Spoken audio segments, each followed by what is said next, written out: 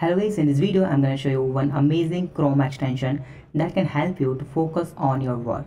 So that extension name is Momentum. So just search here Momentum extension. Okay, and we need to just open that link Chrome extension. Okay, and then we need to just click on the add to Chrome. Just click on add to Chrome. So as you can see here, that one is done. Okay, now let's see that's the amazing. See that's the view okay? So he's asking me what's your name? So let me just type Saurabh. And email okay. Codingbus at gmail.com done.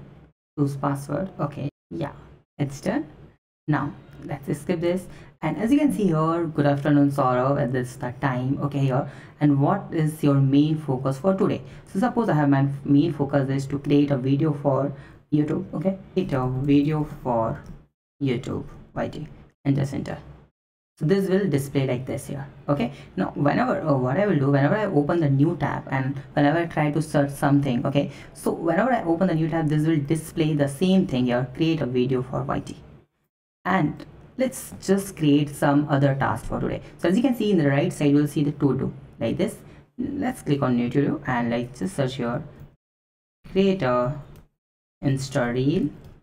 Then another task is something meeting with heads you can see here whenever you open the new tab in your laptop you will always find your to-do list. Your main task is here and the time and very calm very calm here one background. So this will definitely increase your focus on your work okay? So if you have any doubt you can ask me comment. Please subscribe my channel like this video and share this video. Have a nice day. Be safe. Bye bye